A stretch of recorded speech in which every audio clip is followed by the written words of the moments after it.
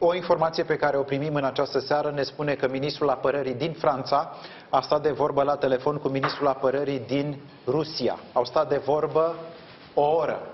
Cei doi n-au mai vorbit din octombrie 2022. Pur și simplu nu s-au mai auzit unul pe celălalt, n-au mai stat de vorbă, nu știm cine pe cine a sunat. Dar această conversație apare într-un context cât se poate de încărcat. Astăzi, purtătoarea de cuvânt a Ministerului de Externe de la Moscova a acuzat Franța că pregătește un detașament pe care să-l trimită în Ucraina. Tot astăzi aflam dintr-o uh, știre, investigație Wall Street Journal, că Emmanuel Macron, înainte să facă celebra propunere cu trupe terestre trimise în Ucraina, a stat de vorbă, s-a consultat personal cu Joe Biden și Olaf Scholz cu președintele american și cancelarul Germaniei. Le-a spus amândurora cere de gând. Fiecare dintre cei doi l-au descurajat. I-au spus să nu facă asta, pentru că va duce la o dezbinare în interiorul NATO și mai mult decât atât îi va enerva pe ruși și va escalada războiul din Ucraina. Macron le-a spus că e hotărât să facă acest lucru și i-a asigurat, aceasta este informația nouă, domnule ministru, i-ar fi asigurat pe cei doi că dacă trupele franceze ajunse în Ucraina vor fi atacate pe, de ruși, Franța nu va cere deloc asistență, nu va cere ajutorul NATO sau al Statelor Unite, argumentul lui fiind că în Africa, de exemplu, armata franceză a suferit pierderi și nu a cerut niciodată ajutor sau asistență din partea NATO. Cum sunt toate informațiile puse cap la cap? Cum e faptul că ministrii apărării din Franța și Rusia au stat de vorbă? Dincolo de declarațiile doamnei Zaharova, care da. zice toate prăpăstiile pământului? Deci faptul că s-a aflat public acest lucru, după părerea mea, ei au mai discutat. Uh, linia roșie funcționează și între linia de comunicare funcționează și între Pentagon și Ministerul Apărării din uh, Federația Rusă. La nivelul serviciilor de informații, William Burns, de la CIA, la, în afară de Orientul Mijlociu, are și anumite contacte. Uh, pe anumite paliere în relația spre Patrușev. Deci, din acest punct de vedere, e interesant de ce a apărut public acest lucru. Și aș lua, din ce corect ați precizat dumneavoastră, cuvântul dezbinare înăuntru NATO. Uh, NATO. Cred că de aici între este aliați. plecat, între aliați. A, pentru că Olaf Scholz ar fi spus, măi Macron, dacă spui asta, eu voi fi nevoit să te, să te contrazic. Exact. Ceea ce s-a și întâmplat. Exact. Deci aici cred că turează Uh, mai serios uh, Federația Rusă, având în vedere că deci vor tot apărea astfel de știri în condițiile în care ne apropiem de alegeri. Deci în condițiile în care uh, și în acest moment semnalul dincolo de ocean de la americani este unul mă rog, complicat, pentru că Mike Johnson a anunțat că pune pe ordinea zi în Camerele Reprezentanților ajutorul de peste 60 de miliarde, dar cu anumite inovații. Anumite inovații în legătură cu acest ajutor, de schimbarea pachetului adoptat în Senat. Uh-huh, uh-huh. Aceste inovații presupun să plece înapoi în Senat, uh, ceea ce s-ar adopta în Camera Reprezentanților. Este ultima iterație ca să spun așa. Vrem și comentariile dumneavoastră, adaug o informație pentru telespectatori. Uh, se pare că se pregătește o schimbare de abordare în interiorul NATO. Până acum ajutorul militar oferit de țările membre NATO Ucrainei a fost oferit în baza unor acorduri bilaterale. Mm. Nu a fost ajutorul NATO. Secretarul general Jens Stoltenberg, așa pe picior de plecare, pentru că îi se termină mandatul, propune un sistem prin care NATO să strângă bani, este vorba despre o sumă uriașă, 100 de miliarde pe 5 ani, și să ofere din partea organizației ajutor militar pentru Ucraina un acord prin care NATO să ofere într-un anumit ritm ajutorul militar pe care și-l dorește, de care are nevoie Ucraina, repet, sumă totală 100 de miliarde. Întrebare logică, cum vor fi obținuți banii ăștia? Se fac tot felul de propuneri. Ministrul apărării din Estonia spune că fiecare țară membră NATO ar trebui să dea 0,25% din PIB. În fiecare an, 0,25% din PIB să meargă pentru acest pachet, pentru acest fond de ajutor militar pentru Ucraina. Vă dați seama care vor fi reacțiile? Începe dezbaterea, ce mai turavura, pentru că nu știu câți vor fi dispuși să dea o parte din banii contribuabililor țărilor lor pentru a-i ajuta militar pe ucraineni. Uite, este Florin o întrebare pe care putem să o punem inclusiv uh, telespectatorilor noștri, dacă ei ar fi de acord ca o parte din PIB-ul României să se ducă în Ucraina. Și cred că este uh, bine să precizăm că banii ăștia sunt bani pentru securitatea noastră, noastră în definitiv. Pentru că ajutând Ucraina să reziste, ajuți Republica Moldova să nu pice în uh, ghearele Rusiei și ajuți în ultimă instanță România să nu se învecineze cu Rusia. Uh, dar uh, dacă la București poate lucrul ăsta se va înțelege. Nu știu dacă se va înțelege în Belgia sau în Portugalia, în Portugalia sau în Spania. Sau în Ungaria. Care oricum sunt contributori la bugetul NATO mult sub posibilități. Adică uh, procentul din PIB pe care îl acordă Spania sau Italia sau Belgia sau Luxemburg este mult sub uh, plafonul acela de 2% pe care și-l propun uh, aliații. Cred că acest pachet de 100 de miliarde de euro pe care îl pomeneai mai devreme are legătură și cu alegerile din Statele Unite. Trebuie să fie un soi de siguranță în uh, ipoteza uh, probabilă în care Donald Trump va ajunge la Casa Albă și atunci, probabil, acest ajutor financiar dinspre Statele Unite spre Ucraina fie se va diminua, fie va înceta de-a dreptul. Pentru că odată cu Donald Trump la Casa Albă începe necunoscutul. Iar aliații în configurația actuală încearcă să își uh, creeze un soi de plasă de siguranță pentru ca acest flux financiar și militar să fie planificat pe termen de 5 ani către, către Ucraina. Pentru că rezistând Ucraina este cea mai bună garanție că Putin la un moment dat poate să fie învins.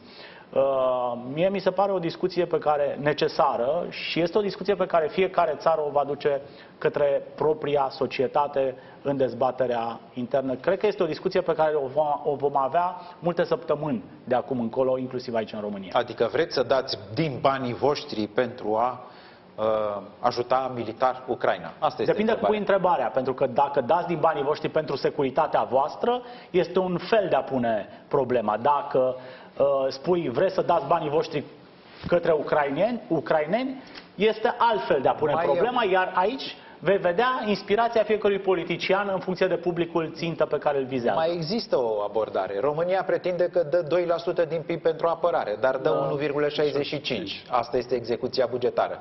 Dacă adăugăm 0,25%, ne apropiem de 2%. Face parte din apărarea noastră. Domnule profesor, vă rog. Cred că sunt mai multe puncte, în primul rând. Anumite societăți europene au trăit pe altă lume după 1991 au crezut că pur și simplu istoria după o formulă celebră a ajuns la capătul ei și că noi construim uh, un edificiu european perfect într-o lume în care nu vor mai exista conflicte, război și toată lumea va trăi fericită ca într-un film hollywoodian. Nu este așa. Așa să și ajung la situația în care anumite țări europene vestice să nu mai aibă, de exemplu, material blindat. Să nu mai aibă tancuri. Uh-huh. Să aibă tancuri, dar bune de casat. Ăsta este un aspect. Al doilea aspect. Cu toții dorim ca Ucraina să reziste. Problema cea mai complicată se leagă de reziliența Ucrainei însăși și de capacitatea sistemului politic ucrainean și a sistemului militar ucrainean de a face față unor imense provocări, în primul rând, de ordin intern. Pentru că ultima perioadă nu este generatoare de speranță cu precădere în Ucraina. Ucraina nu trece prin cea mai bună perioadă a ei, establishmentul politic și militar ucrainean nu au făcut cele mai bune alegeri, iar, de exemplu, pentru contribuabilii americani care poartă greul, ridică serioase semne de întrebare eficiența acestei investiții. Din perspectiva noastră, cred că sunt două chestiuni care ar trebui să fie limpede celor care uh, ne ascultă. Ajutorarea Ucrainei este o chestiune vitală, și cu cât Ucraina mea este mai eficientă politic și economic și militar să reziste Rusia este mai bine pentru noi. Iar în al doilea rând, noi trebuie să ne pregătim pentru cel mai negru scenariu, acela ca situația din Ucraina să nu fie cea dorită și noi să ajungem direct într-o confruntare de război rece cu, uh, cu Federația Rusă. Cred că trebuie să fim conștienți de faptul că Situația în acest moment este o situație complicată, ca să mă exprim eufemistic, volatilă și că, într-adevăr, în Statele Unite vor urma alegeri. Statele Unite, repet, Partidul Republican nu este un conglomerat de izolaționiști, există foarte multe voci care au alte viziuni decât Donald Trump, dar în particular, în acest moment, pentru votanții din Statele Unite, mi-e teamă că problema din Ucraina nu este o problemă pe vârful agendei. Problema este imigrație ilegală, problema este situația economică, iar riscurile generate de Ucraina nu sunt atât de evidente. Este rolul politicienilor europeni și în particular celor centrali și este europeni de a avea un dialog cu politicienii americani și de a le explica că într-un context de interdependență noi nu cerșim de la Statele Unite, noi oferim Statelor Unite ceva de neprețuit. Oferim un parteneriat, oferim una dintre puținele zone din lume în care Statele Unite sunt binevenite și nu există critică nici la nivelul politicienilor, nici la nivelul cetățenilor de rând. Nu există anti-americanismul visceral pe care îl întâmpină americanii în alte zone. Aici este efectiv un loc unde americanii sunt bineveniți și un loc unde se fac eforturi pentru ca propria noastră infrastructură de apărare să fie ridicată. Pentru că, într-adevăr, problema cu uh, alocarea efectivă și alocarea nominală este o problemă reală. Noi trebuie să fim pregătiți oricând pentru cel mai teribil scenariu. Dar asta înseamnă, în primul rând, să fim onești cu noi înșine. Să nu aruncăm cu banii pe fereastră și să investim în lucrurile care înseamnă ceva. Și să nu uităm, și cu asta închei, că nu ne putem culca pe ureche crezând că totul va fi făcut de alții. România acum nu este doar cel care, cea care beneficiază de securitate, este și cea care, după o formulă clasicizată, exportă securitate. Și dacă Doamne ferește să ajungem la un conflict cu Federația Rusă, domnul ministru vă poate spune mai bine, există o fereastră critică de săptămâni în care țările sunt da. așteptate să reziste. Iar pentru români, rezistența înseamnă, în primul rând, cu o formulă clasică și neînțeleasă de unii, să nu încep prin a spune că vei ceda teritoriu. Să nu încep unora din zona de est, din Moldova, să le spui, mă, voi luați-vă tălpășița, că oricum rușii ajung aici. Asta a fost o logică care ne-a dus în dezastru în 1940. De data aceasta avem o altă abordare, trebuie să pornim de la responsabilitate, suntem la aceeași masă cu Statele Unite, cu Marea Britanie, cu Germania și cu Franța. Timpul în care această țară era sub garanția colectivă a marilor puteri sau era protectorat sovietic a trecut. Acum suntem o țară independentă, suverană, în pofida ceea ce spune Diana Șoșoacă și de la noi se așteaptă responsabilitate. Nu replici de genul, nu avem sau nu putem. Trebuie să și ai, să și poți. Dar asta înseamnă că atunci când primești CV-ul unui candidat, să-l și citești. Pentru că, Doamne ferește, dacă pui un hairdresser, un hairstylist la Ministerul Apărării, s-ar putea ca daunele să fie enorme. Ce spuneți mă duce cu gândul la declarația făcută de curând și intens comentată, făcută de curând de premierul polonez. Invazia rusă din Ucraina anunță o nouă eră în Europa, este era pre-război, Practic, premierul Poloniei spune că dacă nu, noi colectiv, NATO, comunitatea occidentală, dacă nu facem ceva ca să schimbăm ce se întâmplă acum, atunci război va fi cu siguranță. Este atât de limpede. Adaug și declarația făcută astăzi de Dimitro Kuleba, este ministrul de externe de la Kiev, când vă spun că Europa va fi în război și că rachetele vor cădea la Bruxelles și în alte orașe europene, nu exagerez, domnule ministru, se schimbă, reușește Jens Stoltenberg în lunile astea pe care le mai are până pleacă să obțină 32 de um, accept, de voturi pentru, de accepturi, acceptări pentru această variantă în care oamenii să dea din bugetele lor pentru a obține ajutorul pentru Ucraina? Sincer, nu cred. Nu credeți? Nu. Uh, sigur, corect spunea uh, uh, domnul Negruțiu, într-o societate echilibrat democratică, așa ar trebui să funcționeze. Oameni buni, haideți să fim conștienți de o realitate care poate deveni la un moment dat atât de amenințătoare încât deja nu mai contează, intră în spin. Dar aș vrea să-l văd și pe politicianul ăla din România care în anul electoral pune această întrebare. Deci, din păcate, și ceea ce se întâmplă la noi nu, nu, nu rămâne numai la noi. Uh, din Abordarea păcate, la noi este nu va fi război, stați liniștiți, nu vine niciun război. Odată și în al doilea rând, și în alt, de ce să ne amestecăm noi? Da, de ce să provocăm? La un moment dat, sigur, poți să spui și când își pune navele pe brațul chilia, că nu are rost să-l provoci. E aceeași paradigmă, poate funcționa. Dar, repet, aici nu poporul de vină, cu toată dragostea. Aici cei care conduc trebuie să aibă acel coeficient de responsabilitate încât să dea avertizarea proporțională. Sigur, în Spania, nici în Portugalia. Să nu sperie, nici să nu sperie, dar să, să ții pe oameni într-un anume tip de alertă. Da, asta este. Asta e istoria. Iertați-mă, uh, încă o dată, știu, sunt subiectiv, îl cunosc pe Donald Tusk și, uh, după părerea mea, este un politician excepțional. Omul acesta nu este radical, este un diplomat rece, un diplomat politician, dar în orice caz reținut. un om echilibrat, reținut și spune ce spune. Deci, uh, atenție, aici problema este cât se poate de gravă și complicată. Mai mult decât atât, în acest moment, toate instituțiile europene și euroatlantice de la alegerile din Europa până la cele din Statele Unite, sunt într-un proces de autodigestie. Ei se uită mai mult la ei acasă, ca să fiu mai clar. Ori din, din această perspectivă este exact momentul în care Moscova va apăsa mai tare pe acest element. A, a, a, tema de agresiune a Federației Ruse împotriva NATO este solidaritatea NATO. Punct. Nu ocuparea, nu. Testarea acestei solidarități. Și nu exclude nicio variantă. Inclusiv o rachetă care trece prin spațiu aerian sau o navă care la un moment dat uh, acostează într-o anumită zonă și din greșeală scapă o dronă nu e așa, într-un spațiu între cel de război declarat și cel de război nedeclarat, care e doar de vreo 60 de km. Un minut, Florin. Spune domnul ministru că îl așteaptă pe, pe politicianul care să le pună românilor această întrebare.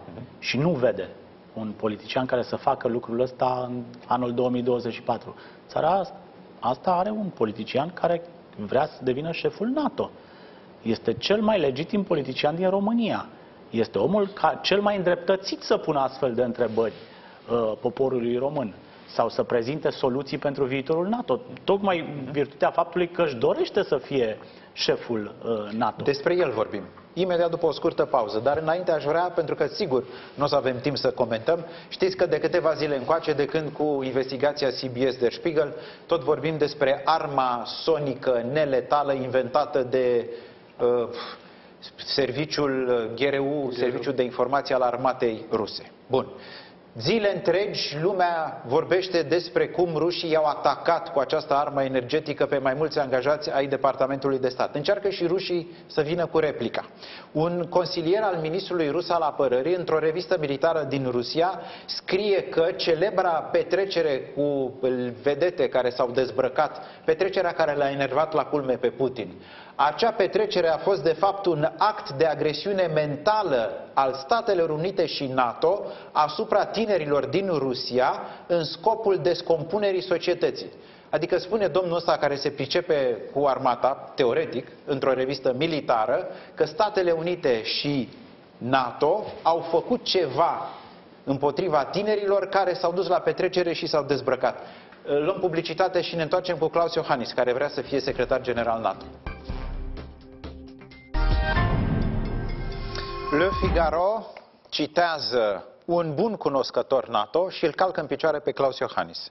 Modul în care a făcut anunțul, momentul ales și lipsa de comunicare cu aliații arată că Iohannis nu a înțeles nimic și că are calități și că nu are calitățile necesare pentru a deține această funcție. FT și Wall Street Journal scriseseră azi dimineață cam aceleași lucruri explicând că Mark Rutte rămâne favoritul pentru cursa pentru secretar general NATO și candidatura lui Klaus Iohannis nu este o alternativă reală. Practic, din 32 de țări membre NATO, excludem România 31, sunt trei care nu și-au anunțat susținerea pentru Mark Rutte. Slovacia, Ungaria și Turcia. În rest, toate celelalte spun că îl vor vota pe Mark Rutte. Claus Iohannis în această după-amiază a fost întrebat de jurnaliști dacă își schimbă prioritățile, dacă se retrage din această cursă și încearcă să obțină uh, o funcție la nivel european. Răspunsul a fost următorul. Nu intenționez nici să mă retrag, nici să negociez. Consider că șansele mele sunt rezonabile. Lângă Claus Iohannis era Charles Michel, președintele Consiliului European. Și facem un tur de studio, că nu mai avem multe minute la dispoziție. Florin Negruțiu. Da, constat că este multă îngrijorare în România legată de viitorul domnului Claus Iohannis, legată de cariera domnului Claus Iohannis. Ce s-a întâmplat cu domnul Iohannis după ce nu mai fi președintele României? Unde s-o duce? Uh, cine îi va asigura protocolul? Care va fi casa? Unde va mai merge domnul Claus Iohannis? Nicio opinie de genul ăsta nu merge la meseria lui de bază. Profesor. Nu? Nimeni Chiar nu se profesor gândește de că fizică. domnul Iohannis se poate întoarce la catedră.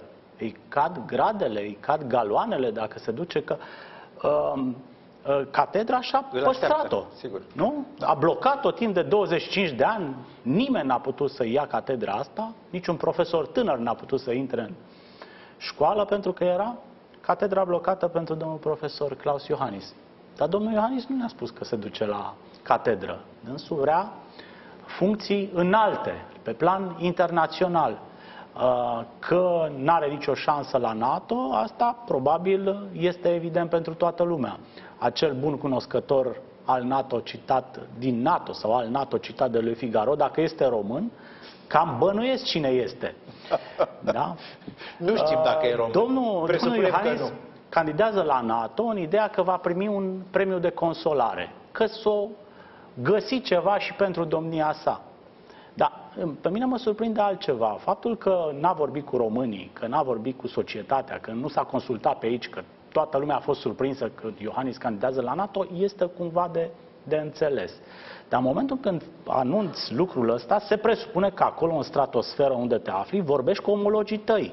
Anunți și tu cu Cine vorbești? Că, na, nu vorbești aici cu Măcar ai să tăi, nu afli vorbești- de la televizor. Vorbești cu Biden, vorbești cu oamenii de nivelul tău. Pare să că și aceștia au fost surprinși de ieșirea impetuoasă a lui Klaus Iohannis și nu este susținut nici măcar de omologii lui de pe flancul estic. Domnule ministru, Pot să contrazic fără să aduc argument? Vă rog frumos. Deci, uh, Marc Rutte a primit sprijinul, lăsând la o parte aspectele publice, Marc Rutte a primit sprijinul în, asociat cu ideea de a se acomoda cu frontiera estică. Din câte știu, s-a, a fost destul de mândru și s-a cam ferit să aibă aceste demersuri. Sigur, nu asta aduce direct la o condiționare a uh, deciziei. În al doilea rând, nu, nu este câștigător și nu este o problemă care ține neapărat de persoană. Aici, persoana, sigur, este un om care trebuie să genereze consens, solidaritate pe teme de agenda în interiorul discursului și să fie un bun comunicator. Luați exemplu Stoltenberg, e, cum să spun, școală. Cum S-ar putea, mă rog, să nu ajungă până la urmă la Banca Națională din, sta, din țara sa și să mai să ducă spre un alt mandat. Deci, din acest punct de vedere, încă se joacă.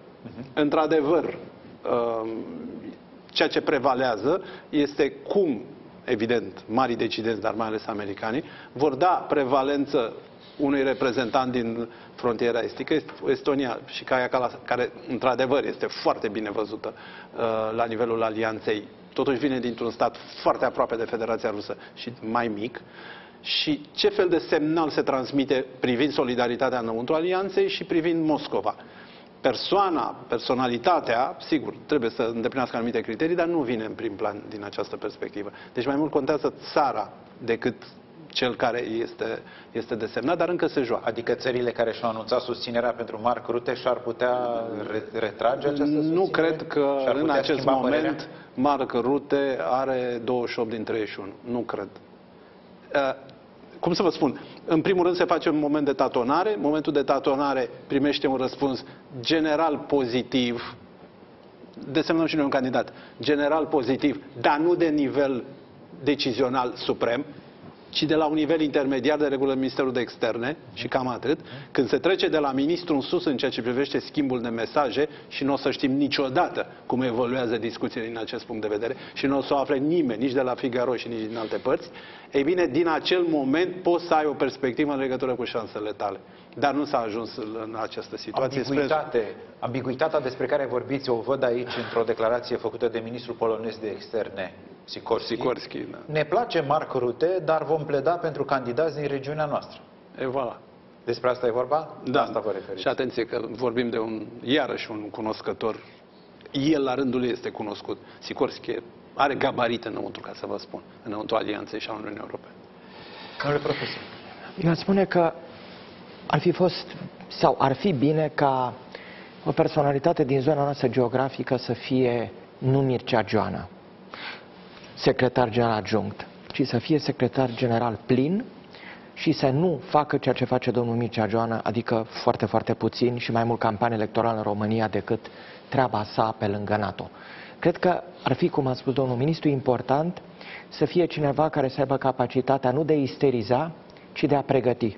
Noi nu avem nevoie în acest moment nici de fricoși, nici de isterici. Avem nevoie de oameni lucizi care să fie suficient de calmi și de fermi și să transmită Rusiei un mesaj de tipul pe aici nu se trece. Există o linie pe care voi nu o puteți trece și dacă o veți trece, va fi rău în primul rând pentru națiunea voastră. Va fi rău și pentru noi, dar răul pe care vi-l putem cauza este mult mai mare decât răul pe care ni-l puteți cauza nouă. Din păcate, cred că președintele Claus Iohannis, cum spunea domnul Negruțiu, a pus de prea multe ori înaintea tuturor altor interese bunul interes al domniei sale. Domnul Negruțiu se întreba de ce nu revine profesor. Eu m-aș întreba de ce nu revine primar la Sibiu. Eu nu aș vedea nimic dezonorant să conduci un oraș de frumusețe și de importanța Sibiului după ce ai fost președinte de Republică. Eu cred că pentru orice magistrat a Republicii să fii chiar și consilier local după ce ai fost președinte, e o onoare. E o onoare întotdeauna să-i servești pe compatrioții tăi. Dar nu e o onoare ca toți compatrioții să te servească pe tine și să caute în disperare un loc de retragere. Secretarul general NATO nu e sinecură, mai ales într-un în asemenea moment. S-a evocat cazul premierului Estoniei. Comparați, vă rog frumos, pe premierul Estoniei cu premierul României. Și veți înțelege de fapt de ce aceste țări erau cât pe ce să fie lichidate de Rusia, dar au rezistat. Noi am suferit enorm în România. Am suferit enorm în Republica Moldova, dar ce au suferit balticii de pe urma rușilor e greu de imaginat. Aceste popoare erau cât pe ce să dispară și vorbim de popoare care se numără cu milioanele. E, nu numai că n-au dispărut, dar astăzi arată cum aceste țări s-au reinventat. Eu cred că un asemenea model trebuie Europei. Ceea ce mie personal îmi displace la premierul Marc Rute este un tip de aroganță pe care îl are față de noi, cei din zona noastră. Așa. Noi nu mai suntem elevii problema Europei. Suntem marginea Europei în momentul în care marginea contează. Și o spun apărând chiar și politicienii noștri imperfecți. Sunt imperfecți, sunt mediocri, dar sunt mult mai buni decât ce am avut noi înainte în 1989 și sunt mai buni decât ce au alte țări. Pentru că politicienii din alte țări cauzează suferințe mult mai mari popoarelor lor. Adică, repet, cu toată mediocritatea lor, sunt un progres enorm și noi trebuie să înțelegem că am pornit de foarte de jos. Că l-aveam pe Nicolae Ceaușescu până în 1989, eroul de pe TikTok, nu? Al românilor. Și astăzi suntem în Uniunea Europeană și în NATO și ne propunem președintele. Ne autopropunem președintele secretar general NATO. Pe mine personal nu mă încălzește să fie Claus Iohannis. Eu mi-aș dori să fie cineva care să fie capabil, în primul rând, să fie cu sufletul și cu mintea alături de cei care vor face obiectul agresiunii ruse. Doamne ferește! De cei care sunt obiectul războiului hibrid. Că nu Olanda e amenințată, ci Polonia, țările Baltice, România. Acestea sunt țările care, în cazul unei catastrofe din Ucraina, sunt direct amenințate de Rusia. Asta m-aș aștepta eu. Președintele Iohannis ar fi trebuit să explice românilor. Nu mă duc acolo să capăt un post, că profesor nu mai doresc să fiu, primar e prea puțin, fost președinte de Republică, nu mă interesează să fiu, acum înțeleg că dorește să fie și comisar european pe apărare. De aici nu este pur și simplu un premiu de consolare. Nu, nu, nu așa se discută când ai totuși în spate o țară mare cum e România. Noi în general discutăm despre problemele acestei țări, dar haideți să discutăm și despre avantajele ei. Este o țară stabilă, care are un grad rezonabil de performanță economică și care a rezistat, a rezistat timpului. Și există aici Faptul că existăm e cea mai mare performanță. Și nu doar că am existat, dar am și progresat.